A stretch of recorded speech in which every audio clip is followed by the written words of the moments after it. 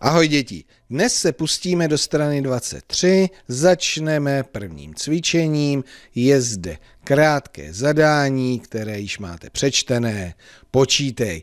Hmm, počítat budeme písemné sčítání a písemné očítání. Jak se písemně sčítá a očítá, si připomeneme tady v animaci. Tak jdeme na to. 36 plus 3 takže začínáme odzadu od jednotek. 3 plus 6, ze spoda nahoru počítáme, rovná se 9. Výsledek zapíšeme pěkně do sloupečku jednotek. No a pokračujeme k desítkám.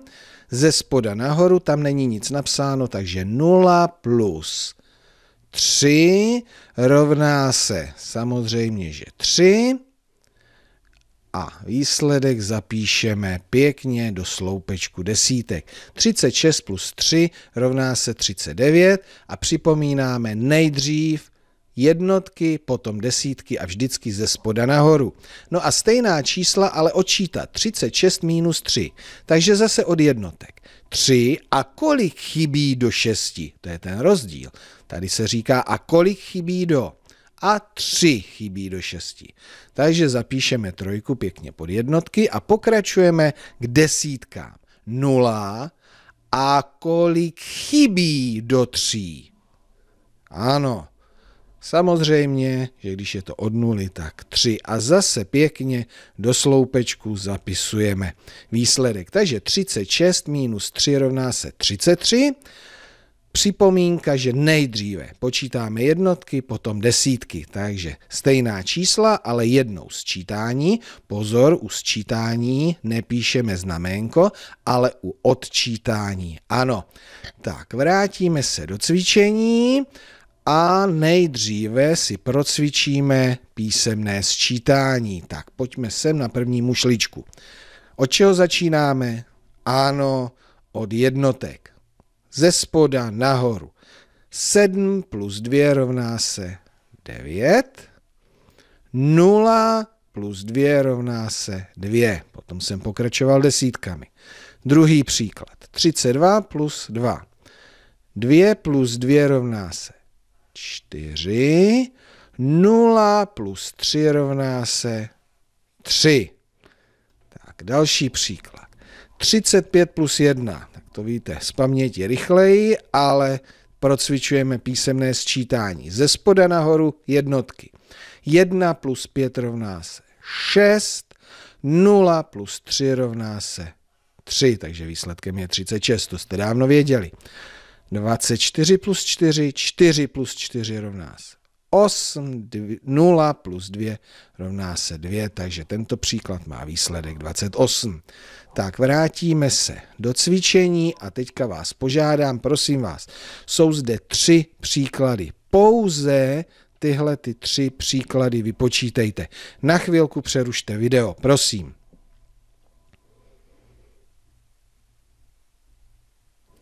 Výborně, takže ještě pouze tyhle ty tři příklady vypočítáme společně. Od jednotek ze spoda nahoru a říkáme plus. 3 plus 6 rovná se 9. 0 plus 3 rovná se 3. Takže výsledek příkladu 36 plus 3 rovná se 39.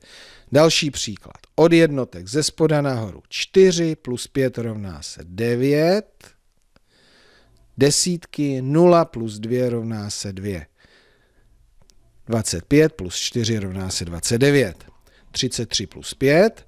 5 plus 3 rovná se 8.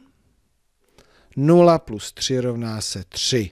Takže výsledek je 38. Nyní budeme pokračovat v odčítání. Takže nejdříve si to procvičíme. První škeblíčka, mušlička. Ze spoda nahoru od jednotek, ale pozor, co říkáme. A kolik chybí do? Pět. A kolik chybí do šesti? Jedna. Nula. A kolik chybí do dvou? Dvě. Další příklad. 28 minus 2. Ze spoda nahoru a kolik chybí do? Od jednotek.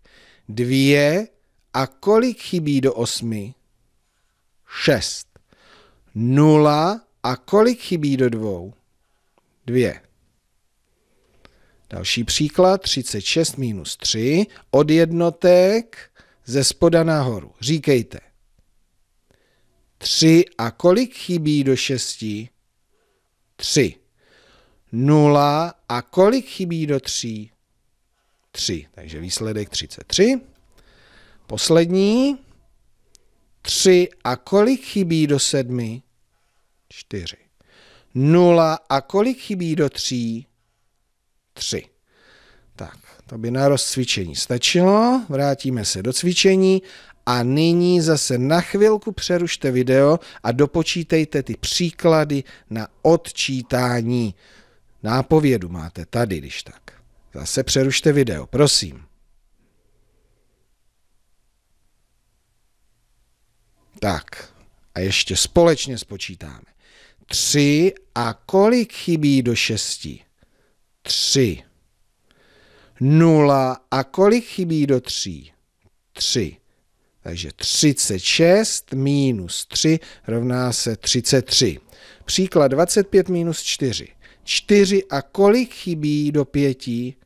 1. 0 a kolik chybí do 2? 2. Výsledkem je 21. 17 minus 2. 2 a kolik chybí do, do 7? 5. 0 a kolik chybí do 1? 1.